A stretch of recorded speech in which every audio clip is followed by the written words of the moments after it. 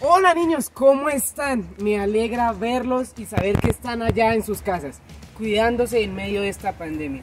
Les cuento que en este momento y en este espacio de la Salle Kids vamos a conocer sobre un tema. ¿Verdad que podemos jugar y estudiar en armonía? ¿Y qué mejor que hacerlo al lado de nuestro santo fundador, San Juan Bautista La Salle?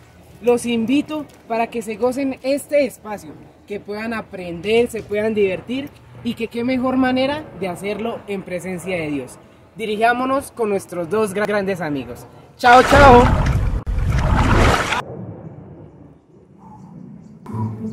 Hola niños, ¿cómo están? Espero se encuentren muy bien. Bienvenidos a este espacio de oración. ¿Qué mejor lugar que hacerlo en una parte simpática, en una parte natural de nuestro ambiente? Los invito para que me acompañen a llamar a una amiga que nos va a estar acompañando en este espacio. Una amiga muy espiritual, una amiga verde y que a lo mejor va a estar muy dispuesta a acompañarnos. Por ello los invito a que la llamemos. Se llama Martina y hagámoslo a la cuenta de tres. Uno, dos, tres. Martina. Nada, no nos escucha. De pronto nos toca un poquito más duro. Uno, dos, tres. Martina. No, no nos oye, no nos oye. Un poquito más duro. Uno, dos, tres. Martina. Martina, hola, ¿cómo estás? Hola Edgar, un placer, bien. Me alegra bastante Martina. Bueno, te presento. Allá están mis amigos de la Salle. Buenos días niños, me gusta estar con ustedes en este espacio. Ay, qué bien Martina. Bueno, te buscaba precisamente para invitarte a que me acompañaras a un espacio de oración. ¿Qué te parece? Bien, bien. Quisiera que los niños nos acompañaran también en sus casitas. Perfecto.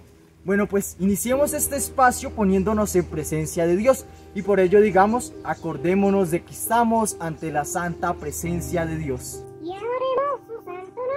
En el nombre del Padre, del Hijo, del Espíritu Santo. Amén. Muy bien. Niños, en este espacio natural los invito a que podamos eh, tranquilizar nuestra mente, tranquilizar nuestro corazón y estar tranquilos y serenos. Por eso eh, hoy, que en esta semana se celebra eh, algo sobre la paz, pues los invito a que podamos hacer la oración que San Francisco de Asís nos dejó frente a la paz. Señor, haz de mí un instrumento de tu paz. Que donde haya odio, yo ponga amor. Donde haya ofensa, yo ponga perdón. Donde haya duda, yo ponga fe. Donde haya error, yo ponga tu verdad. Donde haya tinieblas, yo ponga luz. Donde haya discordia, yo ponga unión. Donde haya desesperación, yo ponga esperanza. Donde haya tristeza, yo ponga alegría. Concédeme, Señor, la gracia de no buscar tanto ser amado como amar. Ser comprendido como comprender. Ser consolado como consolar. Porque dando es como recibimos. Perdonando es como somos perdonados. Y muriendo en ti es como nacemos a la vida eterna.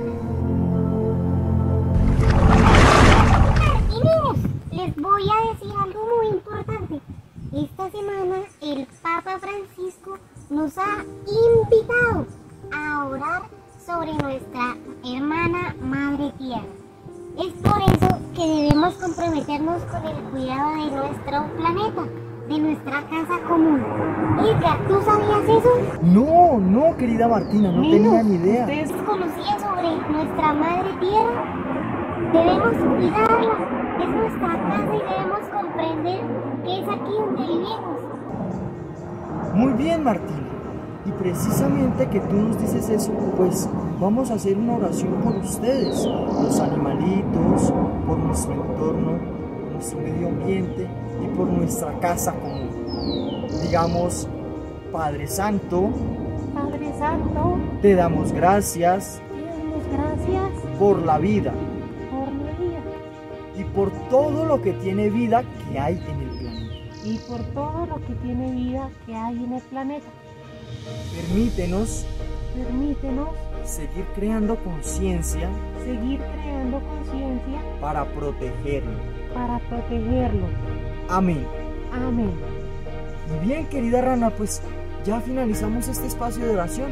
Terminemos de nuevo en el nombre del Padre, del Hijo y del Espíritu Santo. Amén. ¡Viva Jesús en nuestros corazones! Por siempre. Muy Chicos, después de esta oración con Edgar y la rana Martina, vamos a escuchar una fábula sobre la paz. Nuestra fábula se llama El tigre y el jabalí. Un fuerte verano arreciaba en las planicies africanas y los animales andaban buscando de un lado a otro agua para calmar la sed. Luego de varias horas de fatigosa marcha, un tigre y un jabalí llegaron por distintos caminos a la misma fuente de agua. En cuanto se vieron, se lanzaron rugidos de guerra y olvidándose por completo de la cortesía y los modales, corrieron hacia la fuente con intención de beberse todo el agua. El jabalí llegó antes que el tigre, pero en cuanto se disponía a beber, el tigre lo alcanzó y lo derribó por detrás. Enfurecido, el cerdo salvaje se enfrentó al felino y los dos se trabaron en un feroz combate. Luego de un buen rato de rasguñarse y morderse mutuamente, causándose toda clase de heridas, ambas fieras se sintieron observadas y se pararon un momento. Fue entonces cuando descubrieron una bandada de aves rapaces hambrientas en unos árboles cercanos, aguardando a que una de las dos fieras cayera derrotada para devorarla. Como no estaban seguros de cuál de los dos iba a sobrevivir, ya que el combate estaba muy parejo, el tigre y el jabalí tomaron la inteligente decisión de dejar de pelear para ir a beber juntos en la fuente. Pues al fin y al cabo había sitio para los dos. Más vale acabar con las querellas, pues muy a menudo el resultado es fatal para ambos, ambas partes.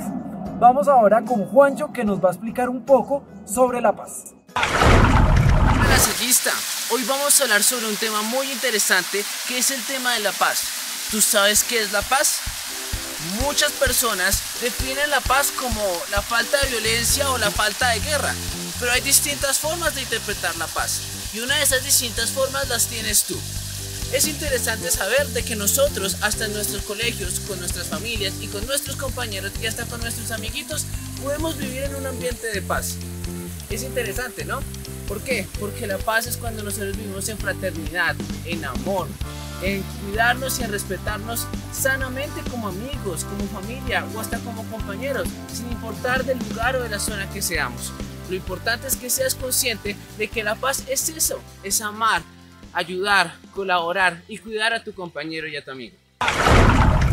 Bien, ahora nos tenemos que preguntar, ¿cómo podemos vivir en un ambiente de paz? Bueno, para eso, y nosotros como lasallista tenemos que tener como fundamental tres aspectos importantes. El primero, saber escuchar. Cuando nosotros sabemos escuchar la opinión de los otros, podemos vivir en un ambiente de tolerancia, que sin importar y sin malinterpretar la opinión del otro, podemos vivir en paz. El segundo, y unido al primero, es el saber respetar la opinión del otro. Es importante que nosotros cuando estamos escuchando a un compañero, un amigo o hasta un familiar y dando su postura, podemos respetar eso sin generar revuelos. Y el último, saber comunicar. Es importante que tú pienses antes de hablar, porque muchas veces nuestras palabras pueden salirse mucho del sentido que nos pueden generar inconvenientes. Antes bien, tienes que vivir también en un ambiente de tolerancia para que no haya tanto debate o problema.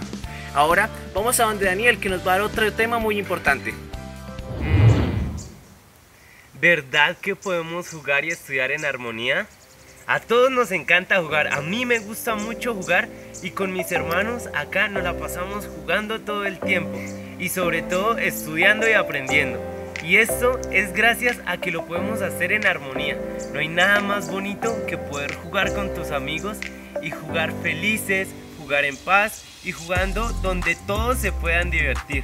Por eso es tan importante que nosotros en nuestro día a día le pongamos toda la actitud a aprender, le pongamos toda la actitud al juego y podamos saber que los demás también están disfrutando como nosotros. Por eso es importante, uno, respetar a los demás cuando estemos haciendo estas actividades. Segundo, estar atentos a nuestros compañeros. Algunos no se pueden sentir bien, algunos pueden tener algunos problemas. Por eso es que nosotros estamos atentos y como lasallistas siempre estamos pendientes de que el resto esté bien para que el bienestar sea de todos y para que todos nos podamos divertir al tiempo. Por eso es que ahora vamos a aprender algo muy importante. Por medio de una manualidad vamos a aprender a hacer una palomita. Esta palomita la tendrán que hacer muy atentamente con mi hermano Haider y mi hermano Gerson, que los estarán esperando más adelante precisamente para saber cómo una hoja de papel reciclable se puede convertir en una palomita. Entonces vamos a acompañarlos y sobre todo a disfrutar y aprender. Cada día cuando me despierto en mi cama estoy feliz y sonriente porque soy un estudiante muy afortunado. Estudio con los hermanos de la Salle. Mi mamá siempre me ha dicho que lo más importante en la vida es la excelencia. Por eso soy de la Salle. Nosotros los lasallistas nos queremos mucho. Somos todos diferentes, pero esa es nuestra principal riqueza y estamos en muchas ciudades de Colombia y del mundo entero. En mi colegio hay mucha, mucha gente buena como mis profesores. Ellos siempre me ven como si fuera una estrella. Quieren lo mejor para mí y para todos mis amigos. Y me divierto muchísimo todo el tiempo. No solo cuando juego, sino cuando hago todas las actividades emocionantes que hacen en mi colegio. Aquí puedo ser bueno en lo que quiera, como por ejemplo en los deportes. Aquí todos los días nos enseñan que los valores lasallistas, fe, fraternidad, justicia, servicio y compromiso deben ser parte de mi vida. Que ser buena gente no es una opción, es un deber de todos nosotros. Ser de la Salle será un orgullo que me hará feliz toda la vida, porque la Salle es la estrella que vive en mi corazón.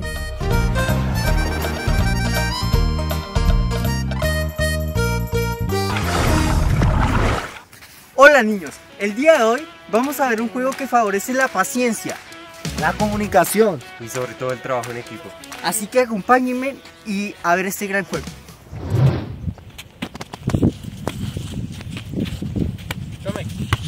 ¿La colocas? Sí.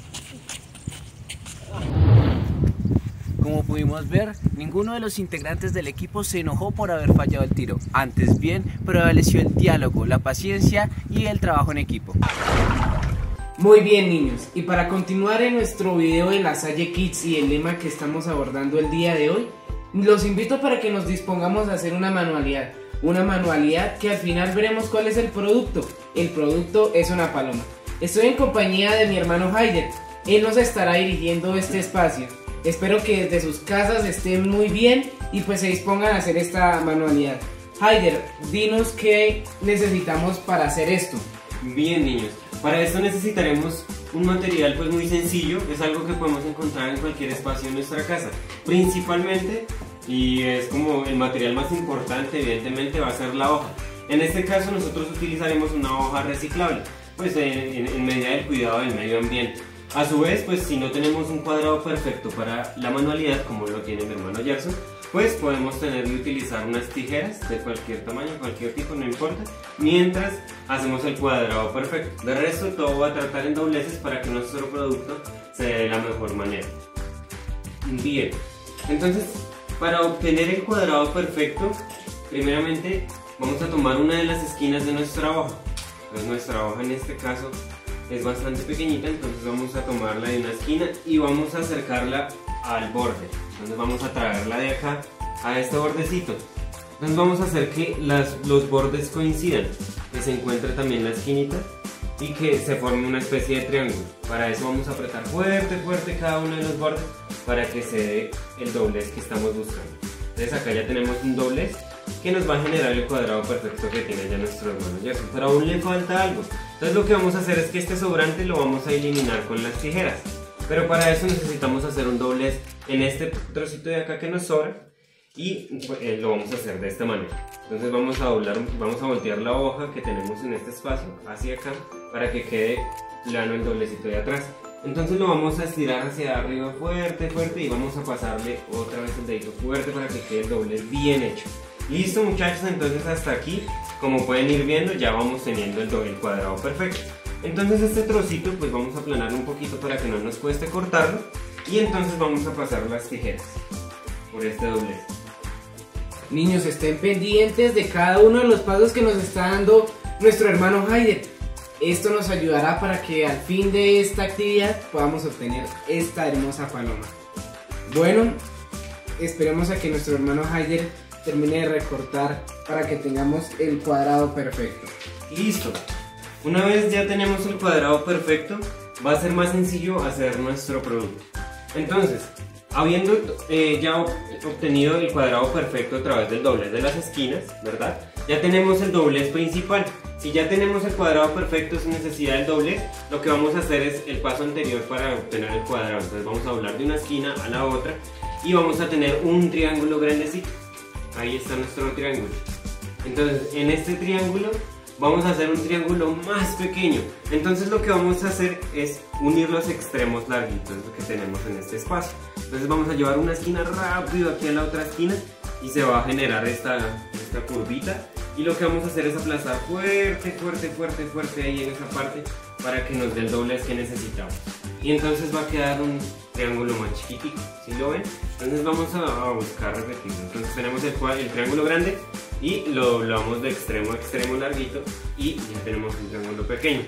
Entonces teniendo el triángulo pequeño lo vamos a tomar de esta manera donde podamos abrirlo por abajo, porque por aquí no se puede abrir. Entonces acá vamos a tomar nuestro doblez. Entonces nuestro siguiente doblez va a ser abrir esas alitas y hacer un triángulo. Nuestro límite va a ser esta punta de acá. Entonces vamos a llevarla de punta a punta y ahí vamos a doblar fuerte. Pero vamos a pisar bien fuerte esa hoja para que nos dé el doblez que necesitamos. ¿Listo?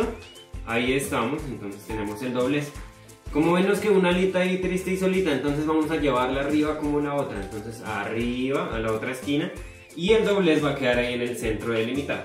Entonces va a quedar otro triángulo más chiquito. Bien, ya habiendo llegado a este punto ya casi tenemos nuestra palomita. Entonces, como podemos ver, si abrimos un poquito el este, nos va a quedar así, como tres, tres pestañitas muy, muy chiquiticas, muy sencillas, que van a formar nuestro triángulo.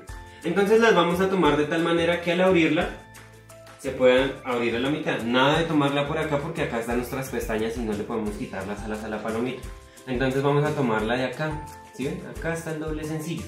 Entonces lo que vamos a hacer es tomarlo de esta manera. Donde estas vertientes queden hacia acá. ¿Listo? Entonces vamos a, a ponerla así sobre la mesa. Y vamos a llevar estas esquinas que se pueden abrir hacia arriba. ¿Y qué nos lo va a delimitar? Nos lo va a delimitar el borde de acá, este lateral. Entonces vamos a pisar duro y fuerte, vamos a pasar el dedo fuerte para que quede el doblez rígido. Lo mismo del otro lado para que la otra pestañita no se nos quede solita. Entonces va a quedar así como una especie de barquito con dos alitas. Como si fuera un pescadito. ¿Cómo va hermano Gerson? Bien. ¿Y ustedes niños qué tal van? Espero que las instrucciones de Haider les esté, llevan, les esté ayudando para hacer nuestra paloma. Sigamos con Haider que ya casi terminamos. Listo. Entonces una vez ya teniendo este espacio de acá, donde ya tenemos nuestro barquito con dos alitas, lo que vamos a hacer es acostarlo. Entonces que una esquinita nos quede así hacia arriba. Y entonces vamos a abrir esta aletita. Acá hay tres aleticas. Entonces vamos a abrir una. Entonces la abrimos nos, y vamos a mirar que nos queda como este doblez acá, ¿verdad? Entonces lo que vamos a hacer es, la línea del centro que se ve acá, la vamos a empujar hacia adentro. Muy suavecito. Entonces cuando ya está el centro, la doblamos. El, el doblez si lo hicimos fuerte, se va a doblar solito. Entonces vamos a mirar. Abrimos la alita y nos va a quedar este doblez. Y lo que hacemos es empujar el centro hacia adentro y lo vamos a cerrar. Vamos a cerrar la puerta del doblez. Y ahí nos va a quedar ya la alita por dentro. Lo mismo vamos a hacer del otro lado para que la alita no se nos quede solita ahí. Entonces vamos a abrir otra vez la alita sencilla y va a quedar esto. Les vamos a doblarla del centro hacia adentro suavecito, suavecito, suavecito para que ella se doble solita. ¿Listo? Entonces ahí ya va a tomar su formita ella sola porque hicimos los dobleces bien duro. Entonces acá ya va a quedar el barquito sin alitas. Le quitamos las alitas al ¿te barquito. parece si repetimos ese proceso? Creo que me Listo, perdí. listo, vamos a devolvernos un poquito. Entonces vamos a devolver una alita. Entonces, la alita sencillita y va por fuera. ¿Sí? Y va por fuera. Entonces lo que vamos a hacer es tomar esta, esta pestañita de acá. Tomamos la pestaña, ¿sí? Ajá. La abrimos. Ajá, muy bien. Entonces nos va a quedar como una alita más grande, ¿verdad? Entonces vamos a empujarla del centro así suavecito. La del centro. Eso, hermano Jeff, muy bien.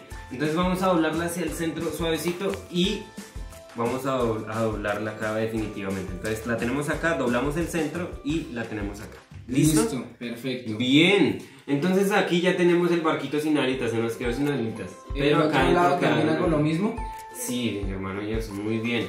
Por los dos laditos para que no se queden solitos los dos laditos. Entonces los dos laditos van a quedar planitos. Bien.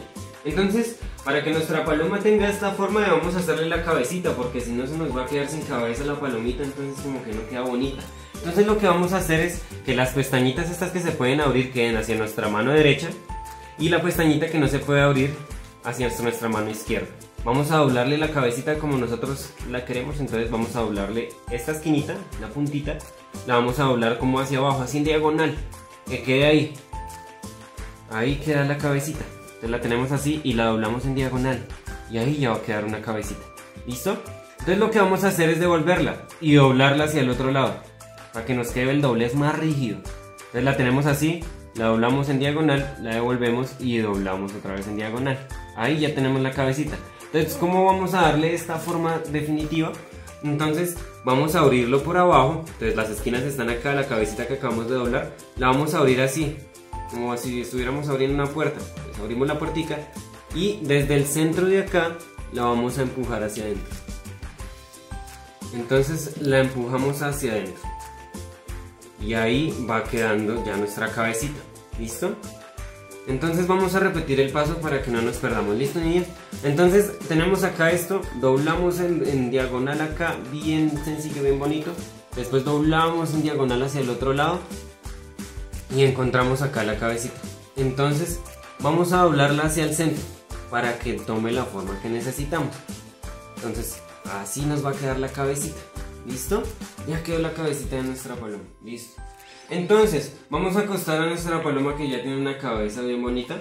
Entonces vamos a coger una de las alitas y la vamos a echar hacia arriba. Entonces, si la cogemos bien, ella se abre y acá el doblez nos va a dejar de una vez doblarla hacia arriba bien porque como hicimos bien los dobleces, entonces ella se dobla hacia arriba solita. Lo mismo, entonces vamos a darle la vuelta a la paloma porque se nos quedó sin un ala. Entonces vamos a darle acá la vueltica y la vamos a subir el alita. ¿Listo? Entonces ya la paloma tiene sus dos alitas. Pero nos falta algo para que nos dé nuestro producto. Entonces acá, como pueden ver, existe un, como, se, se desprende como un pliegue la hoja. Entonces lo que vamos a hacer es doblar la colita, este, este cachito que nos quedó acá, que nos quedó solito, la vamos a doblar en diagonal. Entonces para que lo podamos ver, entonces tenemos esto y lo acercamos acá al doblez que ya teníamos. Entonces la doblamos así, duro pero fuerte, bien fuerte. Y entonces la abrimos. Y desde el centro la abrimos, acá le abrimos el cuerpito a la paloma y vamos a empujar el doblez de adentro. Le vamos a ir haciendo así como para que se suavice el doblez. Y ya ahí, si ven cómo se va formando la colita y la cerramos acá. Muy suavecito. Y listo, niños, nos quedó nuestra palomita muy bien. El hermano Gerson también tiene una palomita, vean. Bien. Nos quedó bien linda la Nos salió palomita. perfecta la manualidad. Niños, esperamos que desde sus casas el apoyo que, le hemos, que, el hermano Haider nos brindó en, este, en esta manualidad les haya servido para llevar y obtener esta hermosa paloma. ¿Que ¿Por qué es importante la paloma? Porque es verdad que podemos aprender jugando y divirtiéndonos. Sigamos con nuestro próximo encuentro. Chao, chao. Chao. Chicos, esperamos que hayan podido aprender muchísimo sobre la paz a través de este video. también de que podemos aprender jugando como nos lo mostraban nuestros demás amigos. Nos vemos en un próximo episodio aquí en La Salle Kids. Viva Jesús en nuestros corazones por siempre. Chao, chao.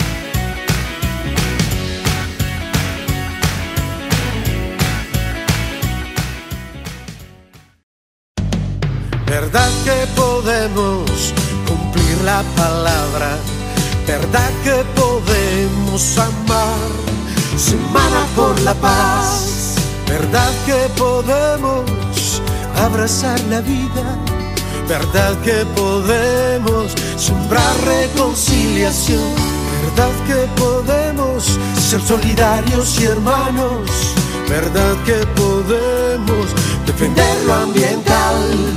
Verdad que podemos darle vida a los derechos, verdad que podemos ser territorios de paz, verdad que podemos cumplir la palabra, verdad que podemos amar, semana por la paz, semana por la paz. Del 5 al 12 de septiembre